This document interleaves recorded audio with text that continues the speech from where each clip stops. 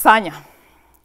Сопругот си доаѓа дома и има пудра на кошулата. Вика го гушнала колешка. Веруваш или проверуваш? Не, тим се само мажи пездучи немаат колешка. Еви ти, добро, значи од старт нешто не е како што треба.